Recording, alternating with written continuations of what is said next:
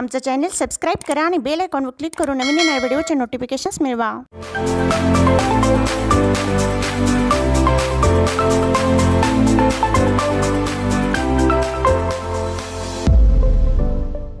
Shri T A Manere charitable trust संचालित school के संस्थापक मनेरे काका जी सभी ट्रस्टीज और प्रशासन अधिकारी Birange sir ji Manere high school की प्रधानाचार्य ऐनापुरे मैडम जी, मंगसूरे मैडम जी, सभी अध्यापक, अध्यापिका और मेरे प्यारे छात्रों, आप सभी को हिंदी दिन की तहे दिल से शुभकामनाएँ देती हूँ। हिंदुस्तान में रहने वाला हर एक व्यक्ति इन शुभकामनाओं का हकदार है। क्योंकि हिंदी हमारी दिल की भाषा है। हिंदी हमारी दिल की भाषा है, जो कश्मीर से लेकर कन्याकुमारी तक, संसद से लेकर सड़क तक और साहित्य से लेकर सिनेमा तक, हर जगह संवाद का पुल बनाने वाली एकमात्र भाषा है, वह है हिंदी भाषा। और आज पूरे देश में हिंदी दिन बड़ी धूमधाम के साथ मनाया जा रहा है। और इस बात का हम सभी को अभिमान है, गर्व है। लेकिन आप सभी छात्रों को मैं कुछ सवाल पूछना चाहती हूँ। चौदह सितंबर इसी दिन को हिंदी दिन क्यों मनाया जाता है? आप जानते हैं? चौदह सितंबर को ही हिंदी दिन क्यों मनाया जाता है? मैं बता देती हूँ। चौदह सितंबर उन्नीस सौ उनचास को भारतीय संविधान ने हिंदी भाषा को राष्ट्रभाषा और देवनागरी लिपि को राष्ट्र लिपि घोषित किया और तब से 14 सितंबर यह दिन हिंदी दिन के रूप में मनाया जाने लगा। हिंदी दिन या हिंदी दिवस 14 सितंबर को मनाने जाने के कुछ ही साल पश्चात अपने भारत देश के कुछ राजनैतिक कुचक्रों के कारण हिंदी भाषा को कानूनी तौर पर राष्ट्रभाषा का दर्जा नहीं मिला। ये पूरे खेत के साथ कहना पड़ रहा है। लेकिन राजनीतिक कुचक्रों के कारण हिंदी भाषा को भले ही कानूनी तौर पर राष्ट्रभाषा का दर्जा नहीं मिला। पर जिसे हम कहते हैं राष्ट्रभाषा का दायित्व, वह दायित्व राष्ट्रभाषा कैसे निभाती है? राष्ट्रभाषा वह भाषा होती है जो भाषा अपने पूरे देश में सत्तर प्रतिशत से भी ज़्यादा लोग बोलते हो, वह होती है राष्ट्रभाषा। राष्ट्रभाषा वह भाषा होती है जो अनपढ़ और पढ़े लिखे सभी समझ सके, प्रयास से बोल सके, वह होती है राष्ट्रभाषा। राष्ट्रभाषा वह होती है पूरे देश में दैनंदिन व्यवहार की हर एक कार्य दफ्तरों में जो भाषा इस्तेमाल की जाती है, वह होती है राष्ट्रभाषा। और सबसे महत्वपूर्ण बात राष्ट्रभाषा वह भाषा होती है जिस भाषा में समृद्ध ऐसा साहित्य हो, वह भाषा राष्ट्रभाषा होती है। अब हमें थोड़ा सा यहाँ गौर करना है। जो विशेषताएँ मैंने राष्ट्रभाषा को लेकर अभी आपको बताई है, उस विशेषताओं को ध्यान में रखते हुए हम सभी के सामने एक ही भाषा आ जाती है, वह है हिंदी भाषा। भले ही कानूनी तौर पर हिंदी भाषा को राष्ट्रभाषा का दर्जा न मिले हो, लेकिन अघोषित तौर पर हिंदी भाषा ही राष्ट्रभाषा का दायित्व निभा रही है। वह कैसे? पूरे अपने भारत देश में हिंदुस्तान में सत्तर प्रतिशत से भी ज़्यादा लोग हिंदी भाषा बोलते हैं। हिंदी भाषा इतनी सरल और मीठी भाषा है जो पढ़े लिखे अनपढ़ सभी समझ सकते हैं और प्रयास से बोल सकते हैं। हिंदी भाषा वह भाषा है, हर एक सरकारी कार्यालयों में, दफ्तरों में हिंदी भाषा का इस्तेमाल किया जाता है। और सबसे महत्वपूर्ण बात, हिंदी भाषा में इतना समृद्ध साहित्य है, अगर हमने तय किया कि हिंदी का पूरा साहित्य हमें पढ़ना है तो हमारी ज़िंदगी खत्म हो सकती है, लेकिन हिंदी का साहित्य खत्म नहीं हो सकता। इतना समृद्ध हिंदी का साहित्य है, आदि काल से लेकर आधुनिक काल तक। साहित्य या साहित्य से समृद्ध भाषा, अगर कोई भाषा है तो वह भाषा हिंदी ही है। इसीलिए हिंदी भाषा अघोषित तौर पर राष्ट्रभाषा का दायित्व निभा रही है। उसकी तुलना में दूसरी ऐसी कोई भाषा ही नहीं जो राष्ट्रभाषा का दर्जा ले सके। इसीलिए हम सभी अभिमान के साथ कह सकते हैं, सरकार या कानून को भी हम यह बता सकते हैं, अपनी राष्ट्रभाषा अगर कोई है तो वह है वह है हिंदी भाषा। बहुत अच्छा। और जैसे कि हम सभी हम सभी के पास दो आँखें हैं। दो आँखों से हम सारा जहाँ देखते हैं। अगर दो आँखों से हम पूरा जहाँ देख सकते हैं तो वैसे दो भाषाओं से हम पूरा जीवन समझ सकते हैं। और वह दो भाषा है, पहली अपनी मातृभाषा। कौन सी? हाँ।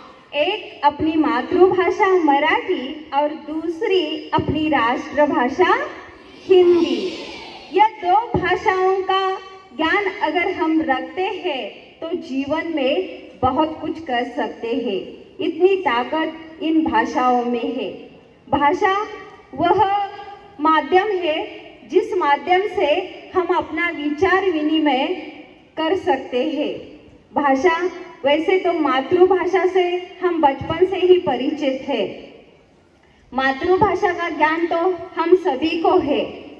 जब अब थोड़ी हँसी मज़ाक की बात आपको बता देती हूँ। जब हमें गुस्सा आ जाता है, मानवीय प्रवृत्ति है, गुस्सा आ जाता है हर एक को। मुझे तो आता है। आपको आता है या नहीं? हाँ। मानवीय प्रवृत्ति है, इसलिए गुस्सा सभी को आता है। और जब हमें गुस्सा आ जाता है तो हम क्या करते हैं? या तो गालियाँ देते हैं, मारपीट करते हैं। वैसे तो गालियाँ देना बहुत बुरी बात है। फिर भी कभी कभार गुस्सा आ जाता है तो गालियाँ दे, देते हैं। और ऐसी गालियाँ जो अपनी मातृभाषा में इतनी है, सामने वाला बेहोश ही हो जाता है। इतनी है। लेकिन हमें ऐसे संस्कार मिले हैं कि हम सभी के साथ नम्रता से पेश आते हैं। क्योंकि आपका यह विद्यालय है, आपके सभी अध्यापक है, इतने अच्छे संस्कार आपको दिए हैं, आपके माता पिता आपको इतने अच्छे संस्कार देते हैं। हम भाषा की बात कर रहे हैं। अब दूसरी बात जो है, अगर आपको किसी के सामने रोप जमाना है। रोप जमाना, जानते हैं ना आप? इम्प्रेशन जमाना। अगर किसी के सामने आपको इम्प्रेशन जमाना है तो आप क्या कर, आपको क्या करना है? दो चार अंग्रेज़ी वाक्य बोल देना है उसके सामने। वह अपने आप सामने वाला इम्प्रेस हो जाएगा। किसी पर अगर रोप जमाना है।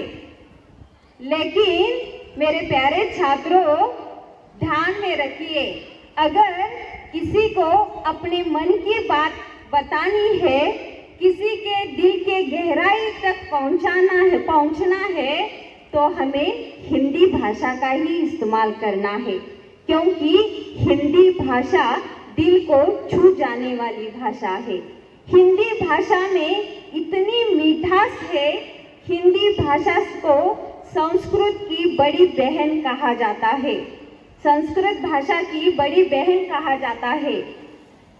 संस्कृत और हिंदी इसमें हमारे भारत देश की संस्कृति छिपी है और अपनी संस्कृति कितनी महान है यह तो हम सभी जानते हैं। अपनी संस्कृति इतनी महान है जो दुर्जन को सज्जन बना देती है। दुर्जन को सज्जन बना देती है। सज्जन को संत बना देती है। सज्जन को संत बना देती है। संत को अरिहंत बना देती है। संत को अरिहंत बना देती है और अरिहंत को सिद्ध बना देने की ताकत हमारी भारतीय संस्कृति में है और वह संस्कृति हमें हिंदी और हिंदी और संस्कृत भाषा से मिली है। इसीलिए हमारी संस्कृति का जतन अगर हमें करना है तो हमें हिंदी भाषा को अपनाना है।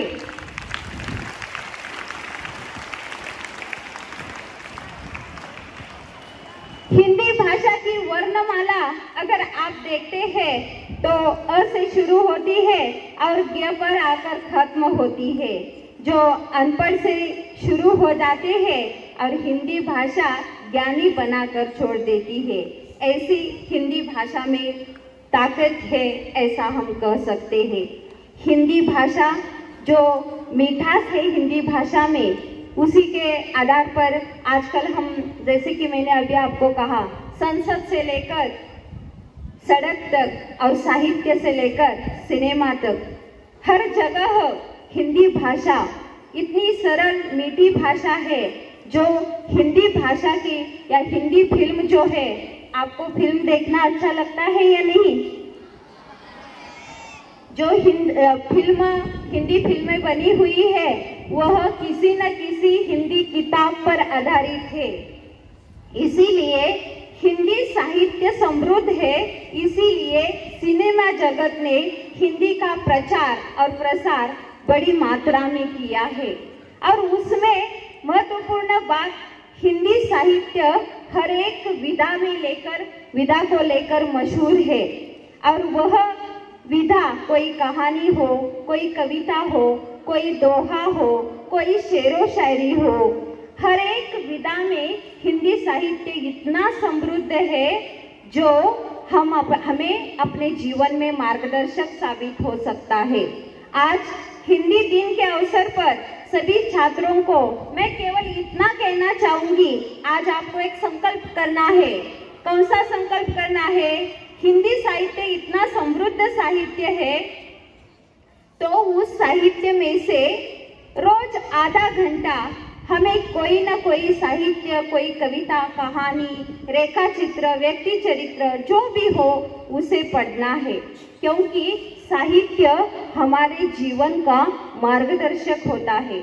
इस जीवन में हमें कैसे जीना है, जीवन को सार्थक कैसे बनाना है, यह हमें साहित्य के माध्यम से पता चल जाता है। ऐसे हिंदी भाषा का साहित्य इतना समृद्ध है जो हमें जीने की प्रेरणा देता है।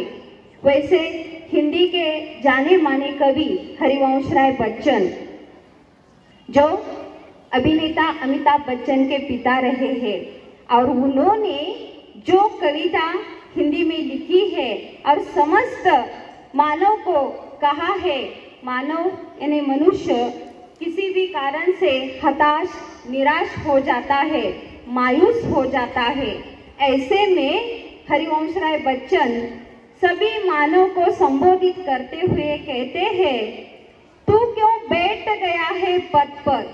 तू क्यों बैठ गया है पद पर? ध्येय न हो पर मग है आगे। ध्येय न हो पर मग है आगे। बस बस धरता चल तू पग आगे। पग यानी पैर, कदम बढ़ाते चले। तू बैठ न तू के दल में तमाशा बनकर तू क्यों बैठ गया है पद पर? मानो कभी हताश, निराश हो जाता है तो उसे प्रेरित करने का कार्य यह साहित्य करता है। ऐसा साहित्य जो त्रिवेणियों के माध्यम से भी बहुत कुछ हमें बता देता है। हर हर एक बात से हम मायूस होते हैं, उदास होते हैं। दोस्त ने बातें नहीं की तो भी हम उदास होते हैं। माँ ने मनपसंद सब्ज़ी नहीं बनाई तो भी हम मायूस होते हैं। ऐसे छोटे छोटे बातों से मायूसी बनाए रखना, ये कुछ ठीक नहीं। यह इस साहित्य के माध्यम से हमें पता चल जाता है। त्रिपुरारी एक ऐसे कवि है, जो बता देते हैं हमें, चाहे कितना भी घनघोर अंधेरा छाया, चाहे कितना भी घनघोर अंधेरा छाया, आस रखना किसी दिन उजाला होगा। आस रखना किसी दिन उजाला होगा। रात की कोख से ही सुबह जन्म लेती है। रात की कोख से ही सुबह जन्म लेती है। चाहे कितनी भी मुश्किलें क्यों ना आए। चाहे कितनी भी मुश्किलें क्यों ना आए। छोड़ना मत उम्मीद का दामन। छोड़ना मत उम्मीद का दामन। ना उम्मीदी तो मौत है प्यारे। ना उम्मीदी तो मौत है प्यारे। ऐसे उम्मीद के साथ जीने की प्रेरणा हमें इन साहित्य से मिलती है। यह साहित्य इतना समृद्ध है कि हमें कैसे जीना है जीवन में? क्या करना है? अपना नाम कैसे कमाना है? अपने कॉलेज का नाम, अपने स्कूल का नाम कैसे बनाना है, अपने माँ बाप का नाम कैसे रोशन करना है, इन सभी बातों की प्रेरणा अगर आपको कहाँ से मिलती है तो साहित्य से है। इसीलिए आज हिंदी दिन के अवसर पर आपको एक संकल्प करना है। हिंदी साहित्य इतना समृद्ध है, जो अन्य किसी देशों में आपको यह देखने को नहीं मिल जाएगा। ऐसा समृद्ध साहित्य अपने हिंदुस्तान में है। तो ऐसा साहित्य हमें पढ़ना है, ऐसा ज्ञान हमें हासिल करना है और अपने जीवन को सार्थक बनाना है। संत कबीर के दोहे, संत के, संत कबीर के दोहे तो हर एक दोहा दो पंक्तियों का होता है, लेकिन ऐसी कुछ जानकारी हमें उन दोहों से मिलती है कि हमें अपने जीवन में अपना बर्ताव कैसे रखना है, यह पता चल जाता है। एक संत कबीर जी का दोहा है, ऐसी बानी बोलिए, ऐसी बानी बोलिए, मन का आपा खोए औरन को शीतल करे, खुद ही शीतल होए. छात्रों, इन दोहों का इस दोहे का अर्थ इतना अच्छा है, दोहा आपके समझ में ना आए, ना सही, लेकिन उसका अर्थ जो है, वो ज़रूर ध्यान में रखना। ऐसी बानी बोलिए हमें ऐसे नम्रतापूर्ण वाणी से सामने वाले से बात करनी चाहिए। मन का आपा खोए, जिसमें गर्व, घमंड, अहंकार नहीं होना चाहिए। ऐसे नम्रतापूर्ण वाणी से हमें सामने वाले से बात करनी है। जब हम ऐसे नम्रतापूर्ण वाणी से सामने वाले से बात करते हैं तो सामने वाला अपनी बातों से संतुष्ट हो जाता है।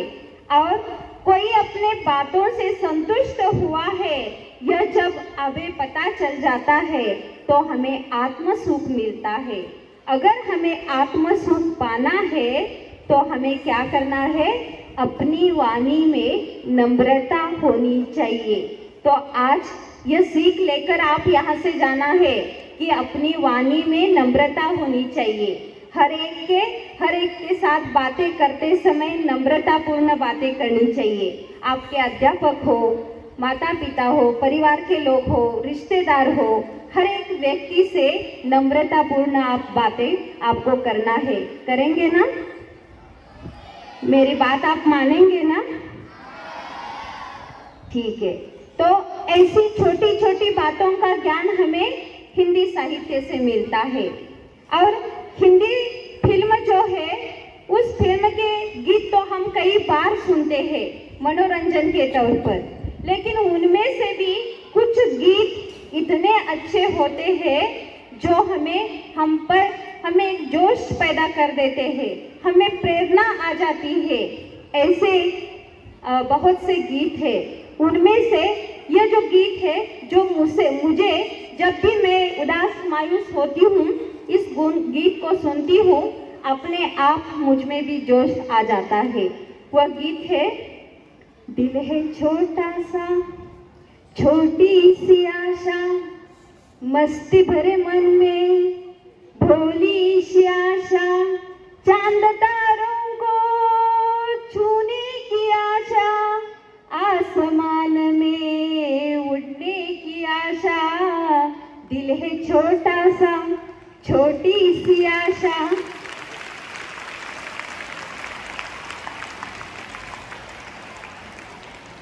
ऐसे गीत सुनते ही हमें जोश आ जाता है। हमें भी कुछ करना है, कुछ करके दिखाना है। यह बात हमारे मन में आ जाती है और तभी से अपने जीवन की सार्थकता की शुरुआत हो जाती है।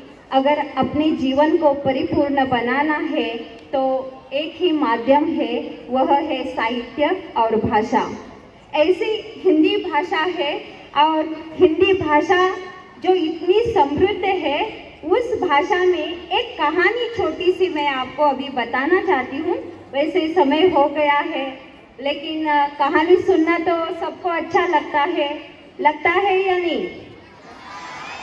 हाँ। लेकिन कहानी सुनने के बाद मैं चाहती हूँ आप में से कोई मुझे बताए उस कहानी से आपको क्या सीख मिली है। इसीलिए कहानी गौर से सुननी है। क्योंकि कहानी आपकी है, कहानी आप जैसे लड़कों की है, और कहानी हमसे मिलती जुलती है। एक गाँव में कहानी गौर से सुनना है। एक गाँव में दो लड़के रहते थे। बहुत अच्छे दोस्त थे। जैसे शोले फ़िल्म के दोस्त। क्या नाम है उनका? जय और वीरू। वैसे दो दोस्त थे, गाँव में रहते थे। दोनों में बहुत गहरी दोस्ती थी। हर हर जगह कहीं भी दोनों ही घुल मिलकर रहते, कभी गुस्सा करते, लेकिन दोनों साथ ही रहते। ऐसी गहरी दोस्ती थी उन दोनों में। एक दिन क्या हो जाता है, दोनों दोस्त, आप जैसे दो लड़के, बहुत अच्छे दोस्त थे। दोनों दोस्त खेलते खेलते गाँव के बाहर चले जाते हैं। वो छोटा सा गाँव था, उस गाँव के बाहर दोनों चले जाते हैं। और आग मिचोली का खेल खेलते खेलते वहाँ एक हादसा हो जाता है। वहाँ उन दो लड़कों में से एक लड़का वहाँ के कुएँ में गिर जाता है। कुआ जानते हैं आप? हाँ आप तो बहुत होशियार है।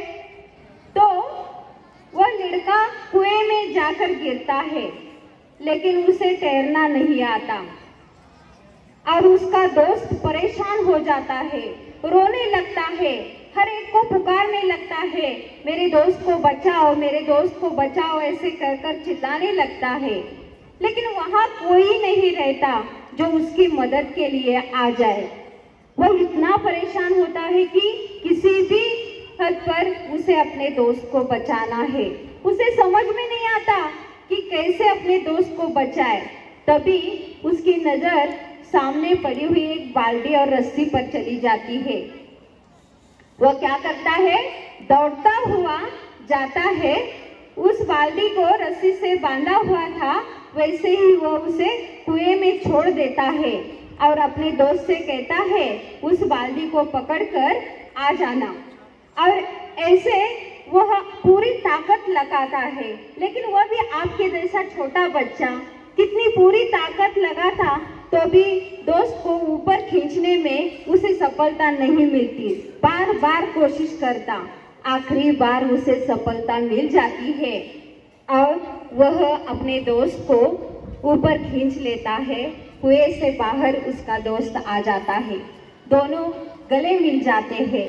बहुत रोते हैं, लेकिन उन्हें खुशी है कि उनकी दोस्ती इतनी गहरी है, उसने अपने दोस्त की जान बच- बचाई। इस बात की खुशी है।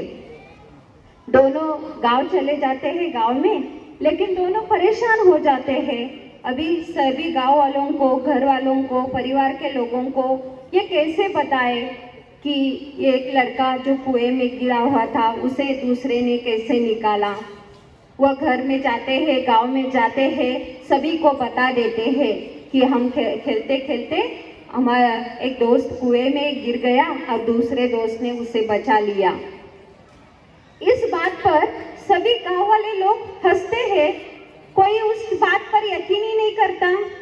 इतना छोटा लड़का और दूसरे लड़के को कुएँ से बाहर कैसे निकाल सकता है?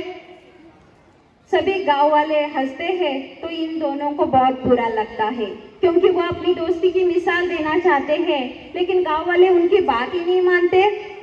तभी उस गाँव में रहीम चाचा नाम की एक व्यक्ति थी, जो उनकी बात पर यकीन करते हुए कहते हैं, मुझे इन बच्चों पर पूरा यकीन है, ऐसा हो सकता है। एक लड़के ने, छोटे लड़के ने अपने दोस्त को कुएँ से बाहर निकाला, ऐसे हो सकता है। गाँव वाले कहते हैं, रहीम चाचा, आप इन बच्चों के बातों पर यकीन कर रहे हैं। ये कैसे हो सकता है? तो रहीम चाचा जो बात बताते हैं वह काफ़ी महत्वपूर्ण है। रहीम चाचा बताते हैं, जब उस लड़के को अपने दोस्त को बचाने का कोई सहारा नज़र नहीं आ रहा तो वह उसने पूरी ताकत के साथ अपने दोस्त को बचाने की कोशिश की, क्योंकि उसके आसपास कोई ऐसे लोग नहीं थे जो उसे बता सके, तू ये काम नहीं कर सकता। ऐसे कोई लोग नहीं थे, इसीलिए उसने अपने दोस्त को बचाया। छात्रों, इसका मतलब क्या है? आप समझ पाए? कोई भी काम पूरी ताकत लगाकर आप करते हैं तो उसमें आपको सफलता मिल ही जाती है। केवल हर एक कार्य हमें पूरी ताकत के साथ करना है। तो आपका कर्तव्य क्या है? पढ़ाई करना। वह भी पूरी क्षमता के साथ अगर आप पढ़ाई करते हैं तो आप उसमें सफल हो जाते हैं। तो पढ़ाई करेंगे ना आप? जब से मैं आपकी इस स्कूल में आई हूँ आपका स्कूल आप सब आप सभी के अध्यापक सब मुझे बहुत अच्छे लगे। आपने जो बहुत बढ़िया स्वागत किया वो तो बहुत अच्छा था। और तभी मेरे मन में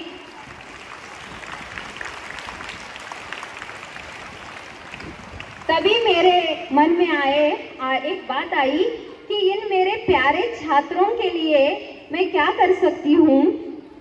कुछ नहीं तो ये दो लाइनें आपके लिए ज़रूर कह सकती हूँ।